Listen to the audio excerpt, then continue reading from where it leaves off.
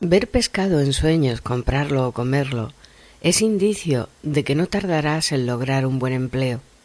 o bien de que se acercan cambios en tu vida que te permitirán mejorar en todos los sentidos.